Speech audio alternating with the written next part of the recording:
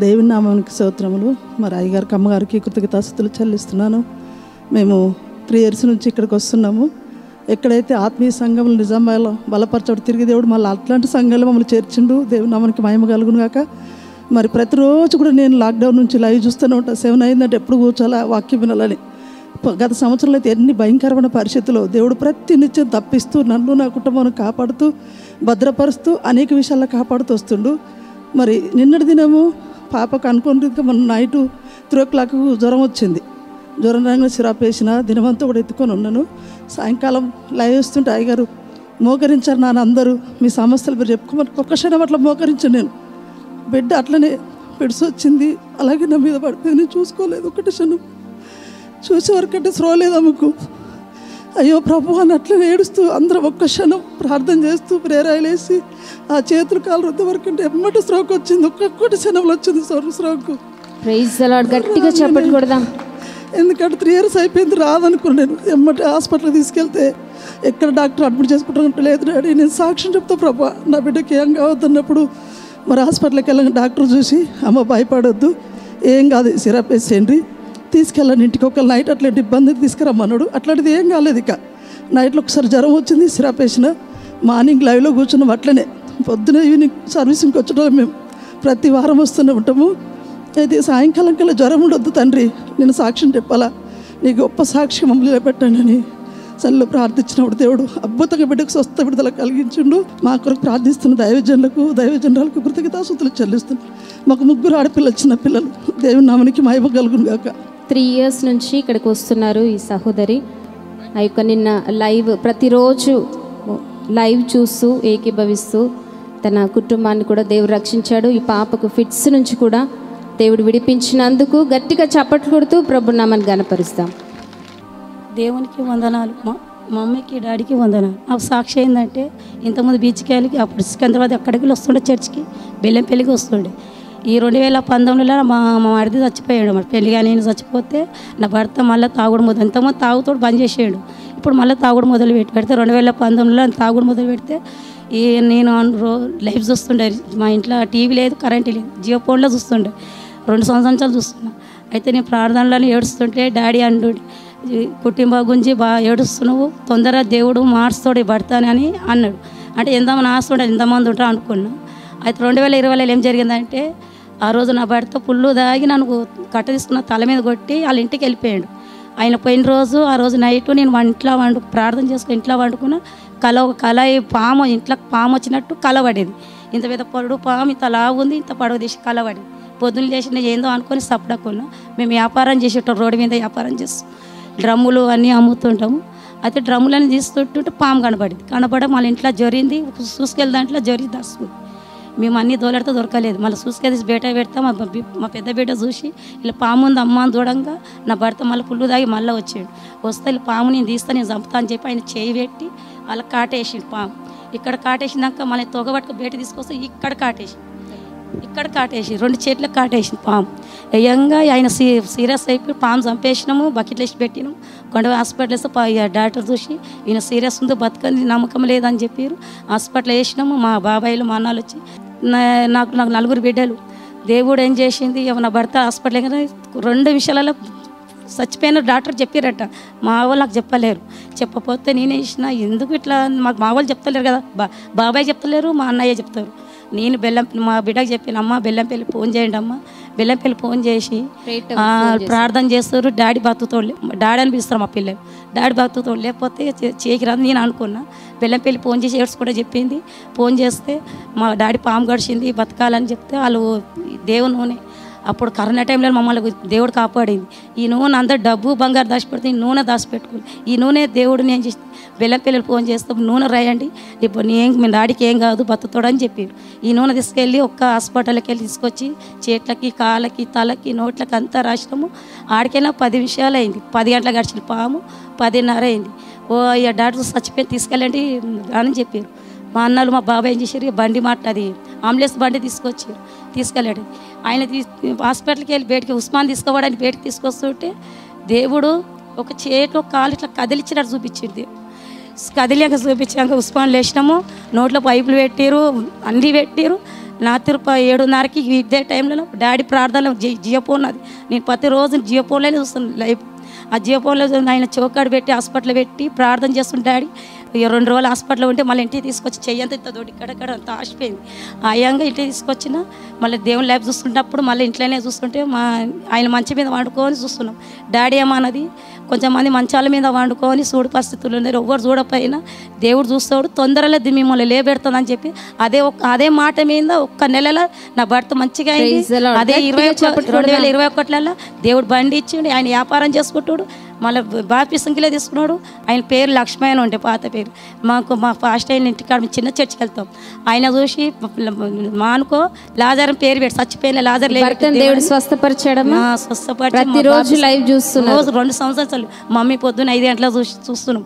Mummy చూసేదాకా నేను బయటకు వెళ్ళాను. ఐదు దేవుని చూసి- ప్రార్థన చేసుకున్నాక నేను బయట పని చేసుకుంటాను. దేవుడు అద్భుత రోడ్డు మీద ఉంటాం వ్యాపారం చేసుకుంటాము మధ్యరాత్రి ప్రార్థనలు వచ్చినప్పుడు డాడీ సిస్టెంట్ల బియ్యం అది అది వంట రూమ్లలో చేయి పెట్టమని చెప్పింది.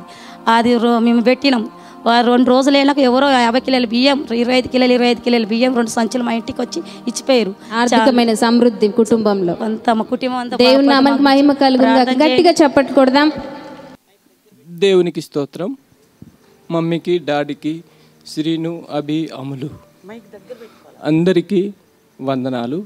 మా ఊరు నంబాల రెబ్బెన బెల్లంపల్లి దగ్గర. ఇక్కడ సిఆర్పిఎఫ్లో జాబ్ చేస్తాను హకీంపేటలో ఉంటాను. నా పేరు పెంటయ్య మా మిస్సెస్ పేరు అమృత. రెండు వేల పద్దెనిమిదిలో మా బాబు ఇరవై నాలుగు సంవత్సరాలు పాప పదిహేడు సంవత్సరాలు. ఇద్దరు ఒకటే సంవత్సరంలో ఏడున్నర నెలల్లో చనిపోయారు. బాబుకు జాయిండీస్తో చనిపోయిండు. మేము ఇక్కడ వదిలేసి ఊరికి వెళ్ళాము అతనికి తెలియదు జాయిండీస్ ఎలాంటిదో ఎలాగ వస్తుందో అనేది తెలియదు. తెలియకుండా అతడు ఏం తిన్నాడో ఏమో వేడి వస్తువులు తిన్నాడో ఏంటో ఏమో తెలియదు. అది ఎక్కువ అయిపోయింది ఎయిటీన్ పర్సెంట్ అయిపోయింది. ఇరవై నాలుగు సంవత్సరాల బాబు? పదిహేడు సంవత్సరాల పాప. పాప. ఇద్దరు ఏడు నెలల తేడాతో చనిపోయారు వీళ్ళిద్దరికి. మీకు అర్థమవుతుందిగా ఇరవై నాలుగు సంవత్సరాల వయసు కలిగిన కొడుకు పదిహేడు సంవత్సరాల పాప సెవెన్ మంత్స్ గ్యాప్లో ఇద్దరు చనిపోయారు. మార్చి ముప్పై ఒకటి రెండు వేల పద్దెనిమిదిలో బాబు చనిపోయిండు. దాని తర్వాత నేను ఛత్తీస్గఢ్లో ఉన్నాను అప్పుడు. నేను సిఆర్పిఎఫ్లో జాబ్ చేస్తున్నాను. నేను వచ్చాను ఇక్కడ ట్రాన్స్ఫర్ వచ్చాను పోస్టింగ్. బాబు చనిపోయిండు కాబట్టి నాకు ఇచ్చారు ఇక్కడ ట్రాన్స్ఫర్. ఇద్దరు చనిపోయిన తర్వాత నాకు మనసులో గుర్తుకొచ్చింది. ఏసఐ గుర్తుకొచ్చాడు. అంతకుముందు మా బాబు సిక్కల్ సెల్ ఎనీమియాతోటి బాధపడుతుండేది. అది బాగైంది. కానీ అప్పుడప్పుడు హాస్పిటళ్ళల్లో అక్కడ ఇక్కడ మన పాస్టర్లు వాళ్ళు వీళ్ళు వచ్చి మీరు దేవుని నమ్మండి అనేసి అనేవారు. కానీ మేము ఫోర్స్లో ఉన్నాను. మేము లెక్కతోటి ఒక నెల ఇరవై రోజులు పదిహేను రోజుల సెలవు వస్తాం కాబట్టి వచ్చిన ఆ రోజులలో మా పనే పూర్తి కాదు. సగం పని అలాగే వదిలేసి వెళ్ళిపోతుంటాం. మా రిలేటివ్స్ ఇద్దరు ఫోన్ చేశారు నాకు నువ్వు దేవుణ్ణి నమ్ముకో అనేసి. అయితే అప్పుడు మా మా వాళ్ళు ఉన్నారు మా పాస్టర్ గారు ఉన్నారు. వాళ్ళు బెల్లంపల్లి చర్చ్లో మమ్మల్ని తీసుకొచ్చారు. ఆ రోజు మమ్మీది ప్రేయర్ జరుగుతూ ఉంది. మమ్మీ అన్నారు మీకు దేవుడే సహాయం చేయాలి ఇంకెవరి వల్ల కాదు అనేసి అన్నారు. దాని తర్వాత మేము ఇక్కడే ఉంటాం కాబట్టి పీజీ కాలేజీలో ప్రతి వారము పరిగెత్తుకుంటూ వచ్చేది. నేను ఫోర్స్లో ఉన్నాను కాబట్టి టైం చాలా దొరకదు ఎక్కువ. పరిగెత్తుకుంటూ వచ్చేది స్పీడ్ బ్రేకర్లలో వచ్చి డాడీ అక్కడి నుండి రాగానే నాకు ఎడుపు మొదలయ్యేది. ఏసయ్య వచ్చాడు అనేసి. ప్రతిరోజు ప్రతి వారం వచ్చేది దాని తర్వాత లాక్డౌన్ మొదలైంది దాని తర్వాత ఇక్కడ ప్రే స్టార్ట్ అయింది. ఇక ఇది చాలా లాంగ్ పడుతుంది కాబట్టి ఎక్కువ రాలేదు. ఐదారు సార్లు ఇక్కడ వచ్చాము. రెండు వేల పంతొమ్మిదిలో కూడా మేము అక్కడ బెల్లంపల్లిలో ఉపవాస ప్రార్థనలో వర్షం వచ్చింది. క్లోజింగ్ సర్మీ సర్మనీలో వర్షం వచ్చినప్పుడు కూడా మేము అక్కడ వెళ్ళాము. వెల్లంపల్లిలో రెండు మూడు సార్లు వెళ్ళాము ఇక్కడ కూడా వచ్చాము. ఇంట్లో ప్రతిరోజు ఐదు గంటలకు ఈ ఈ దినం వాగ్దానము తర్వాత సాయంత్రం ప్రేయర్లో తప్పకుండా ఏకీభవించేది ఆన్లైన్లో. లాక్డౌన్ తర్వాత మేము తప్పకుండా ప్రతిరోజు ఆన్లైన్లో మేము ఏకీభవించేది ప్రార్థనలు. ఇక విశ్వసించాము. అప్పుడు నేను దేవుని ఎప్పుడైతే నమ్మానో అప్పుడు అన్నారు కొంతమంది అబ్రామ్కు చేసిన అద్భుతం నీకు చేయడా? అనేసి అన్నారు. అది ఇది నాకు జరిగిందని ఇవాళ నాకు చాలా నమ్మకం కలిగింది. నాది ముప్పై ఐదు సంవత్సరాల సర్వీసు. మా మిస్సెస్కు మేము ఫ్యామిలీ ప్లానింగ్ చేయించలేదు. కాబట్టి మరి డాక్టర్ దగ్గర వెళ్ళి చూద్దామనేసి మేము అప్పుడు అనుకున్నాం. ఎంత డాక్టర్ దగ్గర వెళ్ళినా ఎన్ని డబ్బులు ఖర్చు పెట్టినా దేవుడే చేసిండు అనేసి మేము నమ్మినాం. ఇప్పుడు ఇద్దరు కవల పిల్లలు మాకు. వయసు ఎంత ఇప్పుడు మీ ఇద్దరిది? నాది సర్వీస్ ముప్పై ఐదు నాది? యాభై ఐదు. యాభై ఐదు. యాభై ఐదు యాభై. సంవత్సరాలు. వింటున్నారా మీకు? ఎందుకంటే ఆయన పాస్టర్ గారు మా ఊరు పక్కన పల్లెటూరులో పాస్టర్ ఆయన. మా దగ్గర బైబిల్ కాలేజ్ చేసి మా ద్వారా బైబిల్ కాలేజ్ కంప్లీట్ చేసుకొని ఓ పెద్ద టీం ఉండేది. ఆయన ఆయన తరపున కాలేజ్ చేపించాడు చాలామందిని. మా దగ్గర కాలేజ్ చేశాక అక్కడ గ్రామంలో పరిచయం చేస్తున్నాడు దైవ సేవకుడు. మా చుట్టుపక్కల దైవజనులు ఏం చేస్తారంటే వాళ్ళ విశ్వాసాన్ని పిల్లలు లేకపోయినా ఏం సమస్య ఉన్నా మా దగ్గర తీసుకొస్తారు. మంచి రిలేషన్ ఉంటుంది. పాస్టర్లు దొంగతనం చేస్తారని భయం లేదు మాకు వాళ్ళకి. ఎందుకు మేము దొంగతనం చేయం వాళ్ళకి తెలుసు బాగా. ఎందుకంటే మాకు తెలుసు గొర్రెల సంగతి. ఆ అయ్యగారు ఎమ్మటి పెట్టుకొని వచ్చారు వీళ్ళు వాళ్ళకి చుట్టాలు. అయితే దైవ సేవకుడు నా బర్త్డే రోజు వచ్చినట్టు ఫంక్షన్ రోజు వచ్చినట్టున్నారు. ఆ రోజు ప్రార్థన చేశారు. నెక్స్ట్ ఆయన పీజీ కాలేజీకి అలవాటు చేశాడు ఇక్కడ ఉండటం వల్ల పాస్టర్ గారు. రెగ్యులర్గా వీళ్ళు పీజీ కాలేజీకి వచ్చేవాళ్ళు. అవునా అక్కడ ఊర్లో బెల్లంపల్లి మాకు దగ్గర బెల్లంపల్లి ఇక్కడ పీజీ కాలేజ్ దగ్గర. దగ్గర. మాకు అనుకూలంగా ఉంది. ఊరికి వెళ్తే అక్కడ ఇక్కడ వస్తే ఇక్కడ. కాబట్టి రెగ్యులర్ అటెండ్ అయ్యి లైవ్ అటెండ్ అయ్యారు. సడన్గా దేవుడు గర్భాన్ని తెరిచాడు. పీజీ కాలేజీలో కూడా మేము డాడీని ప్రత్యక్షంగా కలిశాము. మమ్మీ డాడీ ఇద్దరిని కలిశాము. అప్పుడు డాడీ అన్నారు మీ పోయిన పిల్లల పేర్లే నువ్వు మళ్ళీ పెట్టుకుంటావు అనేసి అన్నారు. తిరుమలగిరిలో కౌన్సిలింగ్ కౌన్సిలింగ్లో వెళ్ళాను డాడీ దగ్గర వెళ్ళాము. అప్పుడు కూడా అదే మాట అన్నారు. మీరు పోయిన పిల్లల పేర్లే మీరు పెట్టుకుంటారు మళ్ళీ మీ పిల్లలు తిరిగి వస్తారు అన్నట్టుగా చెప్పారు. ఆ మాటలు బాగా గుర్తున్నాయి. అదే కాకుండా డాక్టర్ దగ్గర వెళ్ళిన తర్వాత డాక్టర్ కూడా అన్నారు మీకు ముందు అయ్యారు కదా మీకు పిల్లలు అవుతారు వాళ్ళు ట్రీట్మెంట్ మొదలు పెట్టారు మొదలు పెట్టారు దేవుడు అద్భుతం గర్భాన్ని తెచ్చాడు. ఏ టెస్టులు చేసినా ఏ చేసినా అన్నీ నెగటివ్ వచ్చేది నెగటివ్ పాజిటివ్ వచ్చేది పాజిటివ్ అన్నీ నార్మల్గా వచ్చేది. కానీ మేము ఈ ఫోర్స్లో ఉండటం వల్ల అది కాకుండా టైంకు రాలేకపోయేది. ప్రేయర్లో కాలేజీలో కానీ ఇక్కడ కానీ. తర్వాత నాకు అంత పెద్ద ప్రేయర్ చేయడానికి రాకపోయినా కూడా దేవుడు మాకు మమ్మీ డాడీ ప్రేయర్ వల్ల మాకు అద్భుతం చేశాడు. వింటున్నారా? ఇద్దరు ఇప్పుడు కొడుకులా? ఇద్దరు కొడుకులే. వింటున్నారా? ఇద్దరు కొడుకులు ఇచ్చాడు. చూసారా? దేవుడు అన్యాయస్తురా న్యాయస్తురా చెప్పండి. పాపం ఇద్దరు బిడ్డల్ని పోగొట్టుకొని దేవుని దగ్గరకు వచ్చిన వీరిని fifty five years fifty years వింటున్నారా? Fifty five years fifty years ఇద్దరిని చూస్తున్నారు కదా? దేవుని వద్దకు వచ్చారు. దైవజనుడి ద్వారా దేవుని వాక్కు వచ్చింది. విశ్వసించారు. దైవ సేవకుడు ఎమ్మటుండి తీసుకొచ్చాడు. అద్భుతమైన కార్యం జరిగి ఈ వయసులో ట్విన్స్తో ఒక్కరిని లేదండి దేవుడు. చూడండి దేవుడు ఎంత గొప్పోడో. ఒక్కరినిచ్చాడా? లేదు.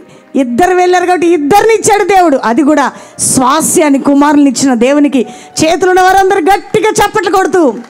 అందుకనే ఘనకార్యములు చేసే దేవుడు మన దేవుడు. వింటున్నారా? అబ్రహాం వయసు ఆ రోజులు అది గ్రేట్ ఈ రోజులు ఇది గ్రేట్ ఇది మెడికల్ సైన్స్కి అందని ఊహకు అందని అద్భుతం. చూడండి ఈరోజు వాళ్ళిద్దరి చేతుల్లో చక్కటి కుమారులతో ఈ మందిరానికి వచ్చి వారు ప్రార్థన చేయించుకొని పేరు పెట్టించుకోవడానికి వచ్చారు. చూసారా?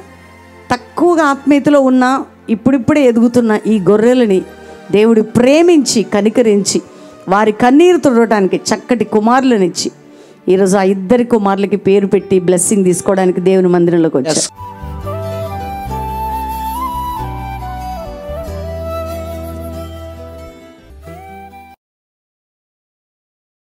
రాజుల రెండవ గ్రంథం ఏడో అధ్యాయం ఒకటో వచనం. అప్పుడు ఎలిషా అప్పుడు ఎలీషా రాజుతో ఇట్లా నేను రాజుతో ఇట్లా నన్ను యహోవా మాట ఆలకించుము. యెహోవా మాట ఆలకించుము. యహోవా సెలవిచ్చినదేమనగా యెహోవా సెలవిచ్చినదేమనగా. రేపు ఈ వేళకు వినండి అంతా చేయి పైకెత్తి చెప్పండి. రేపు ఈ వేళకు ఏం జరగబోతున్నది చెప్పు. షొమ్రోను ద్వారమందు. రూపాయి ఒకటింటికి ఒక మానిక సన్నని పిండియు రూపాయి ఒకటింటికి రెండు మానికల ఎవలను అమ్మబడును? అందుకు ఎవరి చేతి మీద రాజు ఆనుకొని ఉండెనో ఆ అధిపతి యహోవా ఆకాశమందు కిటికీలు తెరిచినను అలాగు జరుగునా అని యెహోవా కిటికీలు తెరిచిన ఈ భయంకరమైన క్షామకాలమున కరువు కాలమున ఇంత చీప్గా ప్రొవిజన్స్ దొరుకుతాయా? ఏంటిది నువ్వు ఏం మాట్లాడుతున్నావు? ఏదో ప్రవక్తాన్ని మర్యాదిస్తుంటేనట. మొత్తం భూములు ఎండిపోతే నీళ్ళు లేకుండా కరువులో దేశం ఉంటే సింపుల్గా ఒకటి కొంటే మూడు ఇచ్చినట్లు నువ్వు సింపుల్గా చెప్పేస్తున్నావు ఈ ప్రొవిజన్స్ అంతా వచ్చేస్తాయని అని రాజు ప్రవక్త నోటిలో నుంచి వచ్చిన మాటను సింపుల్గా తీసేసినాడు. ఆ, అని దైవజనునికి ప్రత్యుత్తరం ఇయ్యగా. అతడు నీవు కన్నులారా దానిని చూచెదవు. కన్నులారా చూచెదవు. కానీ దానిని తినకుందువని అతనితో చెప్పెను. పదిహేడవ వచనం. ఎవని చేతి మీద రాజు ఆనుకొని ఉండెనో ఆ. అధిపతి ఆ ద్వారమున నిలువబడుటకు నిర్ణయింపబడగా. రాజు దైవజనుని యొద్దకు వచ్చినప్పుడు ఆ దైవజనుడు అతనితో చెప్పిన ప్రకారము ఆ దైవజనుడు అతనితో చెప్పిన ప్రకారము ద్వారమందు జనుల త్రొక్కుడు చేత అతడు మరణమాయెను. చూడండి రేపటి దినమున సమృద్ధిని దేవుడు ఇవ్వబోతున్నాడు రాజా. అని ప్రవక్త నోటి నుంచి దేవుడు ఒక వాక్కును రిలీజ్ చేసినాడు. రాజు నమ్మలే. నమ్మకపోయినందుకు ప్రవక్త ఏమంటున్నాడు నువ్వు నమ్మలేదు కాబట్టి నీ నీ ఎండ్ భయంకరమైన డిజాస్టర్ సడన్గా నువ్వు చనిపోతావు అన్నాడు. పదిహేడో వచనంలో చూస్తే ఆ రాజు చనిపోయినాడు. ప్రవక్త ఆ నోటి నుంచి వచ్చిన మాట నమ్మలేదు కాబట్టి సెవెంత్ సెవెంటీన్త్ వర్డ్స్లో ఆయన చనిపోయినాడు. యహోషపాత్ ఒక మాట అంటాడు. రెండో దిన వృత్తాంతముల గ్రంథం ఇరవై ఇరవై. రెండో వారు ఉదయముననే లేచి తెకోవా అరణ్యమునకు పోయిరి. వారు పోవుచుండగా యహోషపాతు నిలువబడి యూదావారులారా యూదావారులారా! ఎరుషలేము కాపురస్తులారా ఎరుషలేము కాపరస్తులారా! నా మాట వినుడి. నా మాట జాగ్రత్తగా వినండి. మీ దేవుడైన యహోవాను నమ్ముకొనుడి. మీ దేవుడైన యెహోవాను నమ్ముకొనుడి. అప్పుడు మీరు స్థిరపరచబడుదురు. స్థిరపరచబడదురు. ఆయన ప్రవక్తలను నమ్ముకొనుడి. ఆయన మీకు ఏ ప్రవక్తలనైతే హైదరాబాద్ బెల్లంపల్లి ప్రతిరోజు లైవ్లో ఇచ్చినాడో ఆ ప్రవక్తలను నమ్ముకొనుడి. ఆ ప్రవక్తలను నమ్ముకొనుడి. అప్పుడు మీరు కృతార్థులగుదురని చెప్పెను. చెప్పు నువ్వు చప్పట్లు కొట్టాలంతా దేవుణ్ణి నమ్మండి మీరు దీవించబడతారు. ప్రవక్తలను నమ్మండి. ప్రవక్తల నోటి నుంచి వచ్చే మాటలను నమ్మండి. ప్రవక్తలకి నమ్మకంగా ఉండండి. మందిరానికి రండి ప్రార్థనలో ఉండండి. ప్రవక్తల అంటర్లో మీరు ముందుకు సాగండి. ఎందుకంటే దేవుడు ప్రవక్త త్రూ ప్రాపర్ ఛానల్ ప్రవక్తల ద్వారా వాగ్దానాలు నెరవేరుస్తాడు కాబట్టి దేవుణ్ణి నమ్మండి. ప్రవక్తలను నమ్మండి. మీరు మీ కుటుంబాన్ని ట్వంటీ ట్వంటీలో ఖచ్చితంగా దీవించబడతారు. దట్స్ ఆల్ యెషయా గ్రంథం నలభై మూడో అధ్యాయం పద్దెనిమిది పంతొమ్మిది వచనాలలో దేవుడు వాగ్దానం చేస్తున్నాడు. ఆ వాగ్దానాన్ని దేవుడు నెరవేర్చబోతున్నాడు. సమయేలు మొదటి గ్రంథం పదో అధ్యాయం రెండవ వచనం. ఈ దినమున. నీవు నా యొద్ద నుండి పోయిన తరువాత ఈ దినం hello listen to my everybody నేను ప్రవచిస్తున్నాను. మొదటి ప్రవచనం. ఎలీషా ఏమంటున్నాడు? రేపటి దినమున ఈ రోజు కల్లా సమృద్ధి సమృద్ధి సమృద్ధి. ఎంతమంది నమ్ముతున్నారు? Just receive it in the name of Jesus this is a prophetic call prophetic వాగ్దానం. ఇది వినండి మీరు పొలిటీషియన్స్ అయినా డాక్టర్స్ అయినా డాక్టర్స్ అయినా బిజినెస్ మ్యాన్ అయినా స్టూడెంట్స్ అయినా లేకపోతే ప్రొఫెసర్స్ అయినా ఎవరైనా కావచ్చు రేపటి దినమున ఈ టైం కల్లా దేవుడు మిమ్మల్ని ఆశీర్వదించబోతున్నాడు. నమ్మిన వారు మాత్రమే గట్టిగా చప్పట్లు కొట్టండి అంతా ఉల్లా ఖాందానా గత ట్వంటీ ట్వంటీ వన్ ఎట్లున్నదో జస్ట్ మర్చిపోతే రమాన షకటతలాదియాల ట్వంటీ ట్వంటీ వన్ ఎట్లున్నదో మర్చిపోండి. జస్ట్ ఒక పీడకలలాగా మర్చిపోండి. నీ బిజినెస్లో నీ ఫైనాన్షియల్ మ్యాటర్స్ నీ ఫ్యామిలీ మ్యాటర్స్ నీ చదువులు ఎట్లా ఉన్నాయో మర్చిపోండి. రిఖందన శాతాల దియాల భారతదేశ తెలుగు రాష్ట్రాలు ఎట్లున్నాయో మర్చిపోండి. I prophesy to somebody in the mighty name of Jesus రేపటి దినమున రేపటి దినమున రేపటి దినమున ఈ ఈ సమయానికల్లా ఐదు రొట్టెలు రెండు చేపలు ఐదు వేల మందికి పంచిపెట్టిన తర్వాత పన్నెండు గంపలు మిగిలినట్లు మీ కుటుంబాలలో దేవుడు దీవించబోతున్నా చేతులు పైకెత్తి చేపట్లు కొట్టాలి? ఎలా సాధ్యం? హౌ ఇట్స్ పాసిబుల్ ఎలా సాధ్యం? పరిశుద్ధాత్మ పరిశుద్ధాత్మ త్రూ ప్రాపర్ పరిశుద్ధాత్మ దేవుడు పని చేయబోతున్నాడు. రమణ షకట దలియాల young boys young girls this is the prophecy for you నీ భవిష్యత్ ఎట్లున్నదో పిల్లలకు వివాహాలు కాలేదా? ఎవరి బిడ్డలారా వివాహాలు కాలేదా? సంబంధాలు రావటం లేదా? అప్పులు ఎక్కువైపోయి వడ్డీలు కట్టుకోలేని స్థితిలో ఉన్నారా? జీవితం ఇంకా సెటిల్ కాలేదా? I prophesy I prophesy I prophesy in the name of Jesus ఇది ప్రవచనమా? నేను ప్రవచిస్తున్నాను.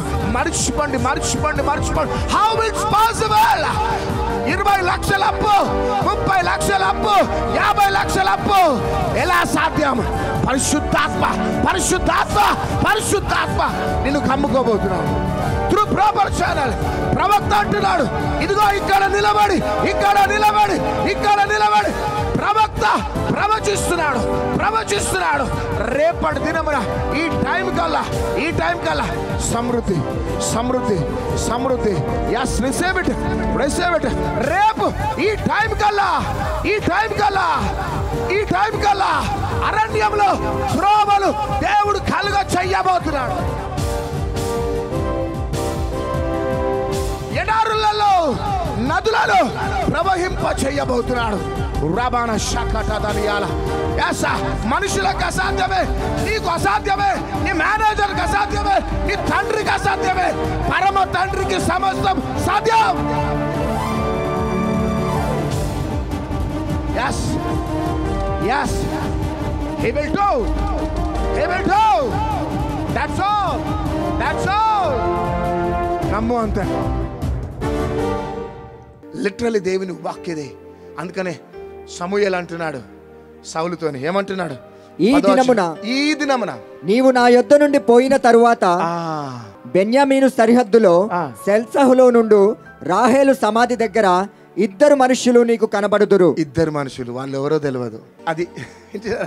మీ తాత కాదు మీ ముత్తాత కాదు మీ తండ్రి కాదు మీ బావమరిది కాదు మీ బావ కాదు ఎవరో ఎదురవుతారు వారు నీవు వెతకపోయిన గార్ధములు దొరికినవి. నీ తండ్రి తన గార్ధముల కొరకు చింతింపక నా కుమారుని కనుగొనుటకై నేనేమి చేతునని నీ కొరకు విచారపడుచున్నాడని చెప్పుదురు. చూడండి గత ట్వంటీ ట్వంటీ వన్లో నువ్వు ఏదైతే లాస్ అయిపోయినావో వాళ్ళిద్దరు వచ్చి నీకు అది ఇవ్వబోతున్నారు. ఆరో వచనం. యెహోవా ఆత్మ నీ మీదికి బలముగా దిగివచ్చును ఇది కూడా వినండి. యహో ఆత్మ నీ మీదికి అందరి మీదికి బలముగా దిగి రాబోతుంది. తొమ్మిదవ వచనం. అతడు సమూయేలు నొద్ద నుండి వెళ్ళిపోవుటకై తిరుగగా ప్రామిస్ ల్యాండ్ నుంచి వెళ్ళిపోయిన తర్వాత దేవుడు అతనికి క్రొత్త మనస్సు అనుగ్రహించెను. హయ్యత్ నగర్ దాటుతుండనే క్రొత్త మనసు ఇచ్చాను. చప్పట్లు కొట్టాలా? సమూయేల్ని విడిచిపెట్టి ఇట్లా వెళ్ళిపోతున్నాడు అంతే. ఇరాకు ఆ మెహా తరషి అలా. ఒకటి యష్యా గ్రంథం ఆ, నలభై మూడు పద్దెనిమిది పంతొమ్మిది. నీవు తీసుకున్నావు చూడు భాగ్యలక్ష్మి లాటరీ కాదు అది. వింటున్నారా? కొంతమంది భాగ్యలక్ష్మి లాటరీ లాగా ఇది బాగా లేకపోతే అది తీసుకుంటారు. అది బాగా లేకపోతే ఇది తీసుకుంటారు. భాగ్యలక్ష్మి లాటరీ కాదు అది. కొత్త సంవత్సరం దేవుడు వాగ్దానం జాగ్రత్త. వింటున్నారా? వింటున్నారా? భాగ్యలక్ష్మి కాదు ఇది కాకపోతే అది అది కాకపోతే ఇది తీసుకోవటం ప్రార్థన చేసుకో. వాగ్దానం చేసిన వాడు నమ్మదగిన వాడు నమ్మంతే. ఎందుకంటే ప్రవక్త నోటి నుంచి వస్తున్న వాక్ అది. హాలేలోయ. ఏంటిదంటే ఏంటిది ప్రవక్త నోటి నుంచి? రేపటి దినమున ఈ టైం కల్లా సమృద్ధి. రెండవదిగా రేపు నా యుద్ధ నుంచి నువ్వు ఇట్లా వెళ్ళగానే ఇద్దరు నీకు పరిచయం కాబోతున్నారు.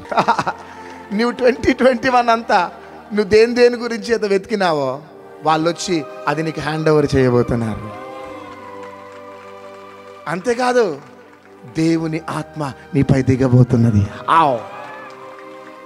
అంతేకాక అందుకనే అంతేకాదు మంచి మనస్సు దేవునికి ఇవ్వబోతున్నాడా? సహోదరి సహోదరుడు ఎందుకు బిడ్డ భయపడుతున్నావు? ఎంత మంచి దేవుడు అండి మన దేవుడు. మనని భయానికి గురి చేసేవాడు కాదు దుఃఖానికి గురి చేసేవాడు కాదు. ఆయన ఎప్పుడు కూడా థ్రెటనింగ్ కాల్స్ ఇవ్వడు ఆయన. ఖబర్దార్ అన్నాడు ఎప్పుడు? ఆయన ఎప్పుడు ప్రేమ గల్లవాడంతే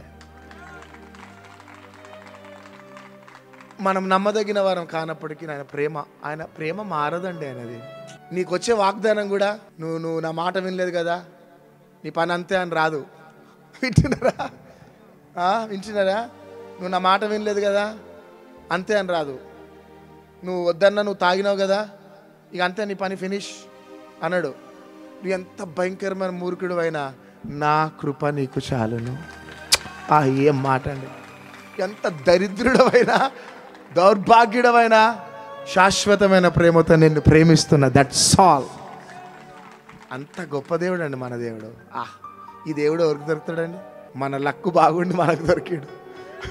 మన కిస్మత్ బాగున్నది అవునా? ఆయన మనకు దొరికిండు. భయపడకండి ట్వంటీ ట్వంటీ టూలో. ధైర్యంగా ఉండండి.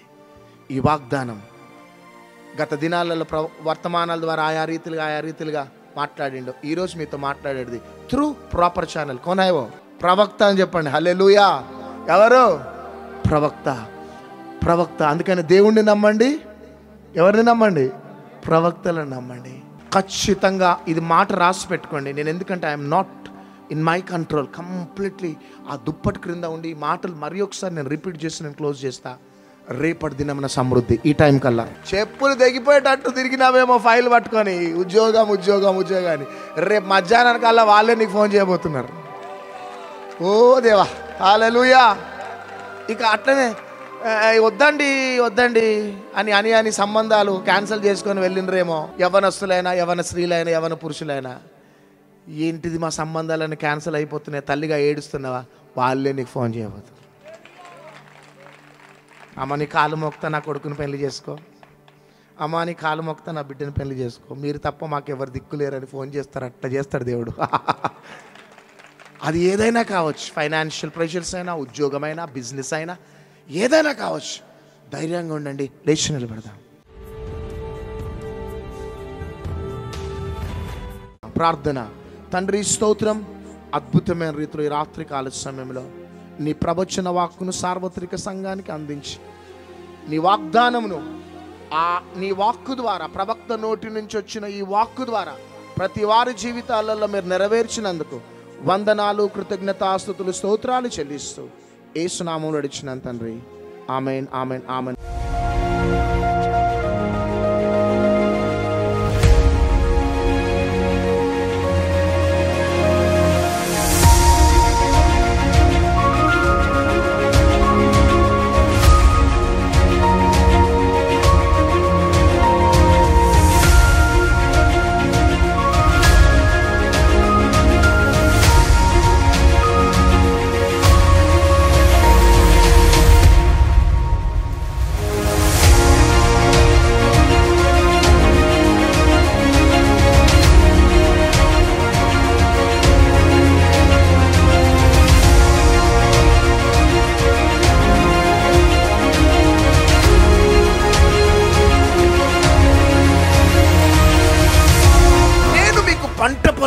ఇవ్వబోతున్నాను.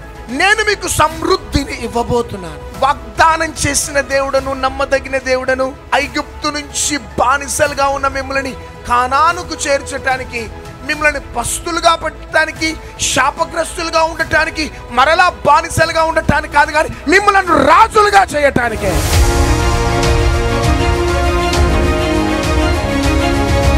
మనిషి దేవునితో గడిపినప్పుడు దేవునికి సన్నిహితంగా వెళ్ళినప్పుడు ఆ గ్లోరీ దిగుతుంది అంతే. ఆ మహిమ కమ్ముకుంటుంది. ఆ మహిమ ఎక్కడికి వెళ్తుందో అక్కడ విడుదల జరగబోతున్నవి అక్కడ అద్భుతాలు జరగబోతున్నాయి.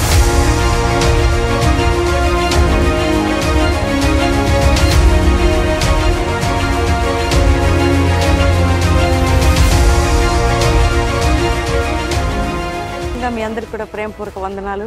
మరి హైదరాబాద్ సికింద్రాబాద్ చుట్టుపక్కల ప్రాంతాల వారు అందరూ కూడా కల్వరి ప్రామిస్ ల్యాండ్ హైదరాబాద్లో హైత్ నగర్ రామోజీ ఫిలిం సిటీ ప్రక్కనే అద్భుతమైనటువంటి ఆదివారం మూడు ఆరాధనలు జరుగుతున్నాయి. దేవుడు శక్తి కలిగినటువంటి వర్తమానాన్ని రిలీజ్ చేస్తున్నాడు యాభై దినాల తర్వాత. మరి బలమైనటువంటి ఆరాధన చేస్తున్నాం. అనేక మంది వ్యక్తిగతంగా వారి జీవితాల్లో ప్రార్థనలు ఎదుగుతున్నారు.